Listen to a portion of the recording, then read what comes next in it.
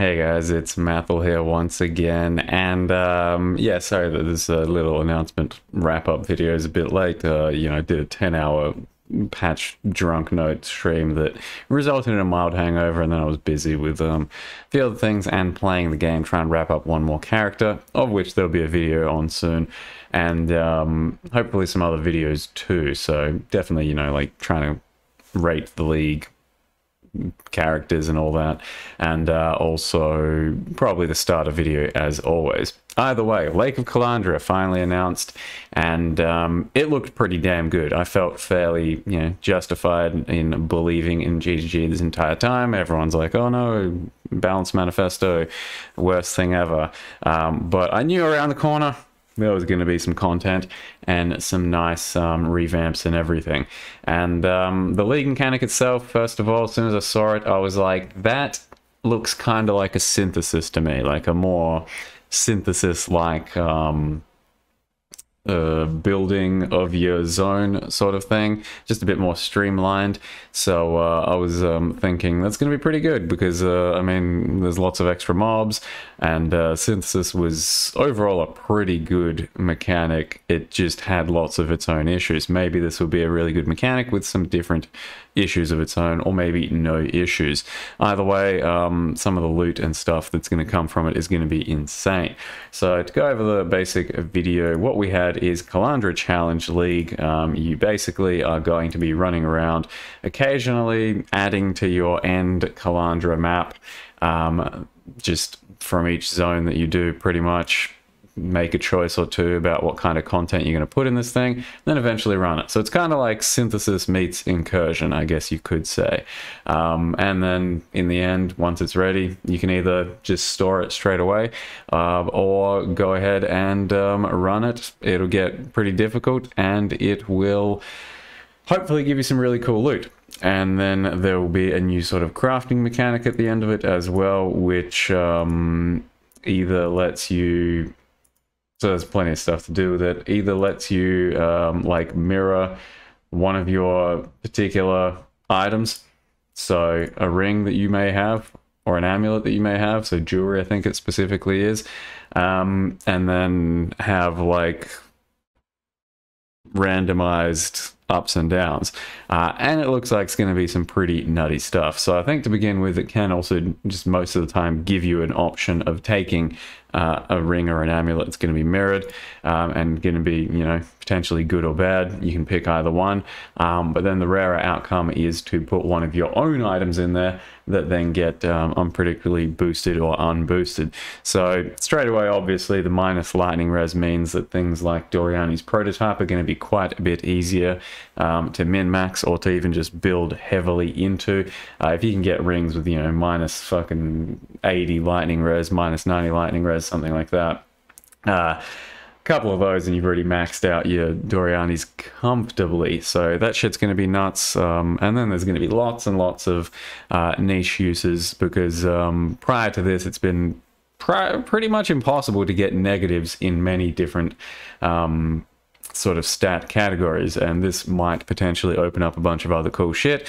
Likewise, though, obviously the doubles, you can get like 150 life in a ring, shit like that. It's going to make some pretty crazy items. Of course, there's going to be, you know, fat RNG, so yeah, you're going to see lots of crap, but hopefully you'll find a few items that have more upsides than downsides, or co the correct upsides for your character with the downsides that don't do anything uh, necessarily bad. Uh, I do think on the low end, there's going to be plenty of examples, you know, even just losing some res, if you can overcome it and make it so the rest of it's worth using, then, you know, cool shit. Uh, definitely, I think this is going to be a cool mechanic to make up for recombinators. Granted, recombinators are probably still more OP as a whole because they let everyone gear up almost every slot uh, to like some crazy, crazy levels. Uh, but hey, whatever. Next mechanic, let's go. And this is another example that they're giving us of what could happen. Some pretty big stuff, obviously not always going to be the right outcomes that you want, not always going to pick the right stuff that you want, etc. Uh, and supposedly this is going to be a more of a rare um, sort of option to be able to chuck your own stuff in there. Either way, Kalandra League looking pretty good. Um, they then went over all this kind of stuff. So they, on the list, they had endgame improvements, new uniques, unique item rebalance, a couple of skills, um, and then revamped content. Let's just um, keep moving through. So the end game improvements is essentially um, going to give these memory things that you find. And it's going to prompt and promote you to kind of run different maps because what you'll do is. I don't know if they actually uh, highlighted it yet. What you do is click it on a certain area of your atlas, uh, and it will snake away this memory thing that is just going to put extra content on all of those maps. So if it's like a breach one, each one of those uh, maps down the line are going to have like breach, and then it's going to get thicker and nastier, and it's going to be somewhat similar to what juiced versions of um, the Atlas breach or the Atlas whatever content mechanic um, is there. So you get to experience it in its juiced format. It's going to prompt you to run some maps you might not otherwise run, which I think is always kind of fun. Um, and then also it's free maps. So like you're going to go talk to Nico in this case, and he's going to open this map for you. So this is going to like really boost up your map sustain, I think, um, sort of when you need it. Uh, you can roll the maps, of course, and all that. So I think that's a pretty cool one. And um, supposedly they're going to be kind of rare, though. So, you know, it's not going to always be something you can run. But when you do find them, either you can sell them or um, run them for the juiced versions of various things. Seems like a nice little additional mechanic. Uh, and then, yeah, as well as that, you can also find a unique map that opens up um, Ultimatum Trialmaster. So Ultimatum isn't yet back in any sort of real form, except for this unique map where you can fight the Trialmaster, uh, and so the uniques that are associated with them are back. So you can now make a Hateforge build again, possibly going to open up some more new Giga overpowered builds. Who knows? Um, we'll kind of wait and see. I was never one to be playing around with that personally. Um, don't know what we're even showcasing here. Uh, yeah, just, you know, there's going to be foil versions of um, some of the endgame boss uniques. We don't yet know how they're going to come about. Hopefully, it's a, another good way of generating some of this powerful loot without having to fight the endgame bosses. Likely it'll be off of some other endgame shit, though, or just heavily RNG gated. Don't know. We'll have to wait and see. But uh, so far, that looked like pretty good endgame improvements. Just a few uh, new unique items. So they've already teased a bunch of these. Um, some interesting stuff. So far, nothing particularly game changing. And uh, you know, go over it a bit. Uh, these are Ziz gloves, and they seem pretty insane. So basically, um, yeah, Ziz won one of his races and then put the gloves. Uh, this is his unique in the game. Um, so you gain one stack of Soul Eater on hitting unique enemy, no more than once every second, and you lose again. Uh, lose one of those Soul Eater stacks every three seconds if you're not in the presence of a unique enemy. So, you know, some bosses are going to be like phased and that sort of thing, um, which means you might be losing some stacks, but it's not too bad of a game. One, one every three seems fairly reasonable, and gaining one stack every um, second while attacking a boss um, it's only against uniques, so that kind of sucks. So they are strictly unique, like, you know, against boss fight sort of gloves.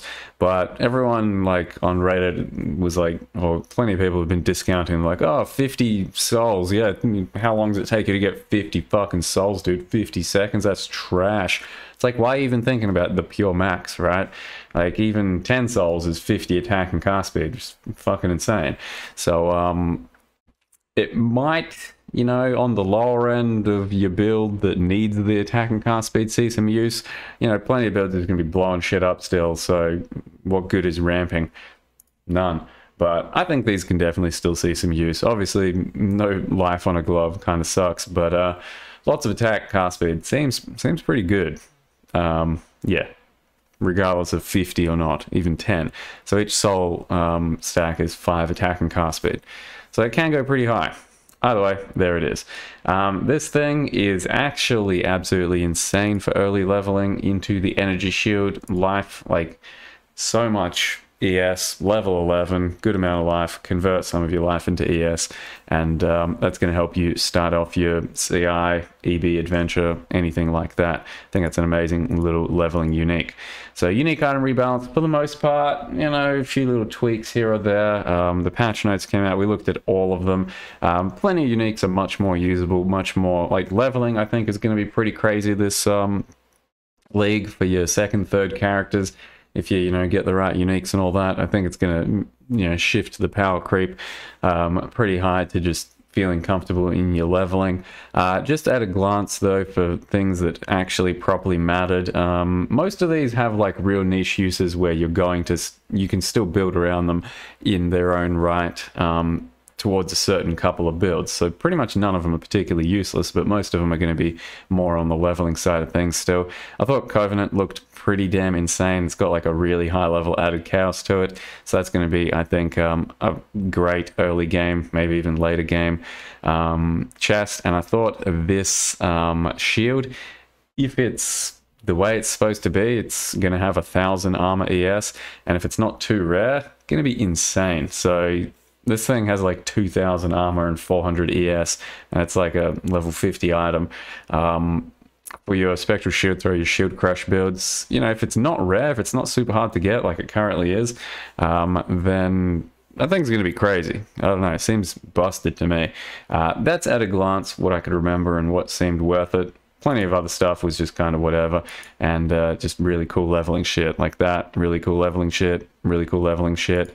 Um, this thing looks like it might have some viability. You know, 20% chance to deal double damage, and then blood magic that's actually pretty interesting and uh, maybe an end game sort of little item.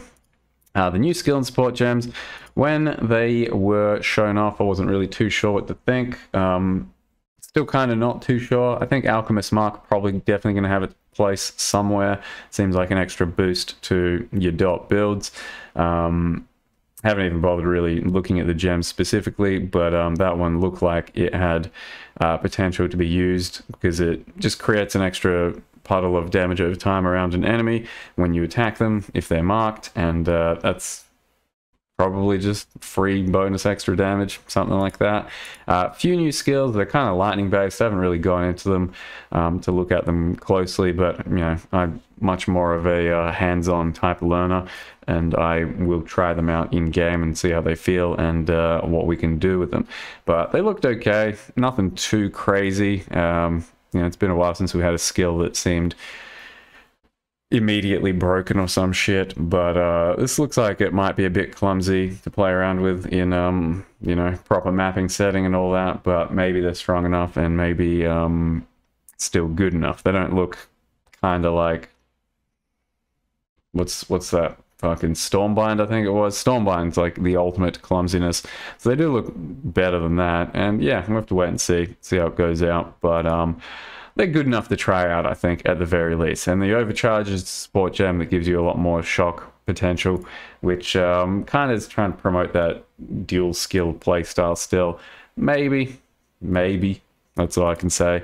Um, and then the revamps. The revamps I thought were actually all really on point and particularly good, and I was um, pretty pleased with how they tackled them. It felt to me like they kind of, uh, you know, do have their finger on the pulse on some of the games still, um, despite what people say. So the Arch Nemesis revamp, um, basically what is going to happen is there's going to be less rares in the game than there currently are, because... Uh, obviously arch nemesis plus a lot of league mechanics out there. Um, gets pretty hectic right? Like 10 rares on your screen with all kinds of you know various arch nemesis mods. It it, it was a big issue. Uh, then there was lots of arch nemesis nerfs. It made it more manageable but it's still kind of dumb. So they're trying to make rares more rare and more potent in um, the things that they do for you. So it's kind of what Arch Nemesis should have been on release last league, uh, which is what I was saying. A good solution to Arch Nemesis and how it should have been is, um, yeah, it's it's more of a rare fight, so it's not too common that you come across a rare, and then it's a bit juiced up, and then it's got a special drop. So we're not just talking like a higher quant than just normal. It needs to have like a special drop. So you know, maybe a temple mod, maybe some um, you know delve fucking fossils or some shit, some extra uniques, some actual something that's special um, that plenty of other league content already does, you know, uh, that drops in special ways. Uh, so yeah, corrupted shit, and looks like that's how it's going to be. So I think that's a good change for Arch Nemesis, and it'll be interesting to see how it's implemented in the end.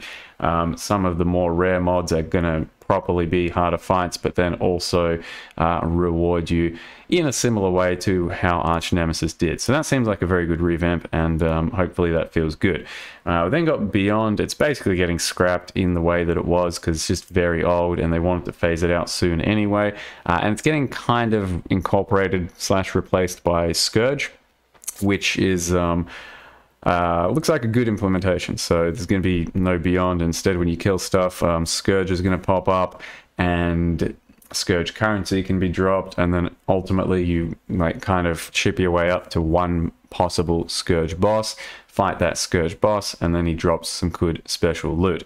So instead of the potential to see like you know on a really juice map a hundred beyond bosses. You just have potentially one Scourge boss, but uh, still plenty of Scourge monsters up till that point. It is a bit sad, you know, to not really properly giga juicier maps anymore with Beyond, but I don't know, I think that's fine. And Scourge is cool to be back, and some of that currency is very nicely um, reintroduced. And then Harvest, a nice thick Harvest rework. Somewhat, uh, somewhat of a... Um, thing that a lot of people wanted, and that is to have your harvests less interrupting in your gameplay loop. So you're going to be, you know, traditionally running around doing your maps, harvest, and you got to run in, do the thing, and then craft, and it takes like a few minutes out of your life instead of mapping. And it always felt very intrusive. Now you're just going to go in, you kill some shit, it drops some shit, you pick that shit up, and then you run away, and then you choose to use that juice whenever you want and um, have a crafting session. They are going to remove a few crafts here or there, you know, in turn. Um, and uh, hopefully there's still plenty that are somewhat good to make it somewhat relevant. And it looks like there will be. Um, but otherwise you can choose to craft whenever you want and harvest is just going to be a bit of a watered down version of what it is at the moment as far as a fight is concerned. And then also you choose to you know it's just a quick fight you move on then you choose to do it when you want and you can also buy more um, of the harvest life force from other people and then do your own crafts uh, so that's all pretty good stuff. That seems like about as good of a direction as they could have taken Harvest to uh, make it more palatable. Uh, the balance changes, um, I don't even know what this is. I guess this was the, you know, talking about the manifesto. Um, so they've made plenty of extra minion changes where they, you know, give you some cool minion items and stuff. Uh, you know, it's just, yeah, it's unfortunate that if you really love having more power on your character by default, they want it to be more like gear based, as they kind of always have uh, in many changes. Like I said, it's a bit unfortunate because um, it means you got to gear up before you get more powerful, and that can be annoying and that can throttle more builds. But you know the power is still there, and um, it's possible to get, but that's the take home message for the minions that more of your power is now being put on gear, less you know, inherently. Um, next big change was Exalteds and Divines are getting kind of flipped.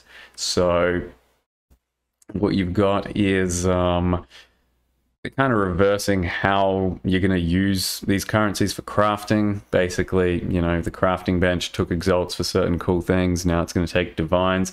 Uh, and the idea there is that exalts are like supposed to be more used just for actually slamming your gear, you know, because otherwise when they're really expensive, you rarely ever want to do that. And now um, divines are going to be the more sort of expensive currency that does cooler shit. Um, and then in turn, what this change is going to do. So they've also taken away natural ways of getting divines the way we did before. Uh, in turn, what this is going to do is probably raise the cost of divines um, and also make good rolls on uniques and gear um, quite a bit more valuable. So I think that's actually a very interesting economic change um, and sort of gameplay change. It's going to be pretty damn interesting to see, I think, personally. Um, you know, you can be mad about it, you can not be mad about it. I think it's just going to be super interesting um, to see what that does to like various uniques and items. You know, you see a roll with a few extra percent better and you're like, fuck, like that's that's a high tier role. I kind of want that one, and um, it's never going to get much better, you know. Or if it's a low tier role and you're like, I may as well settle for it, and you know just lose a little bit of power, but maybe you want to pay for a bit more for the slightly better item. You know, it's it's going to be interesting, I think.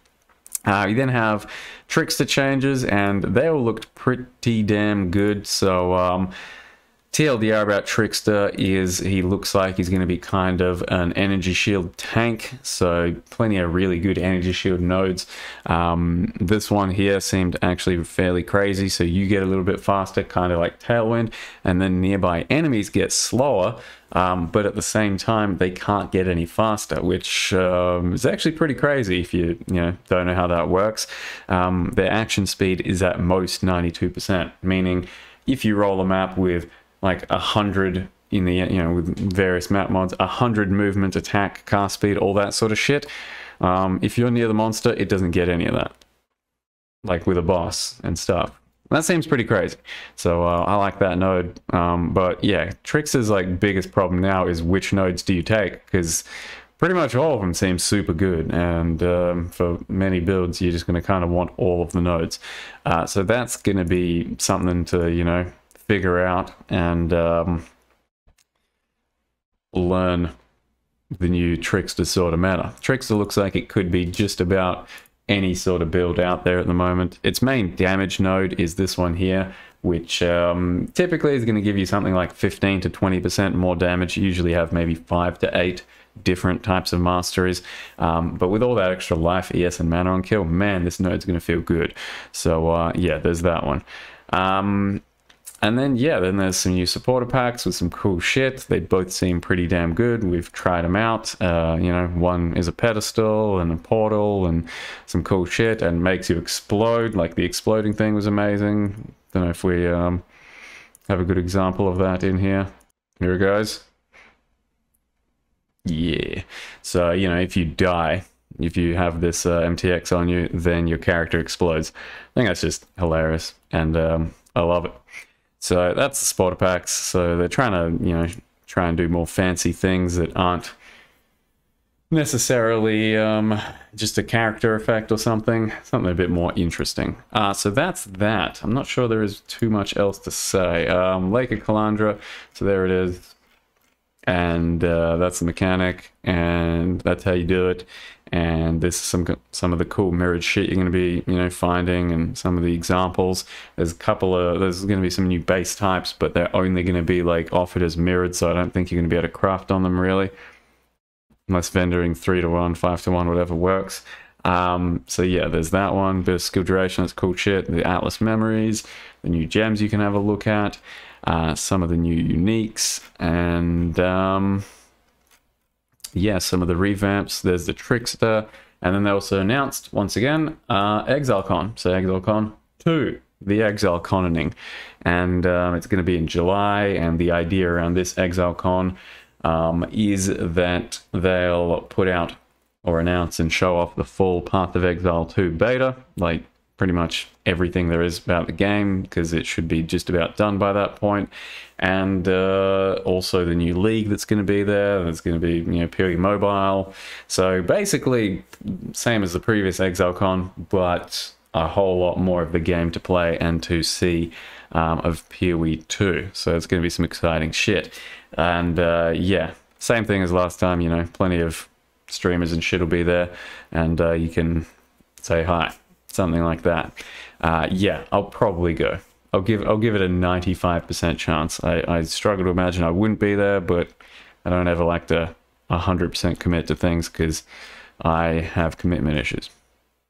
Yep. Okay, so that's that. Uh, I think it all looks pretty good. Hopefully, in the next few days, I've also got some other videos for you in the form of like the build I'm currently playing, which is Spellslinger Inquisitor, and should hold up well enough in the new patch. Um, and then, you know, rating my builds, start a build video, and um, then the league starts, and hopefully I put some sort of cosplay together that is worthy of getting a small laugh or something like that.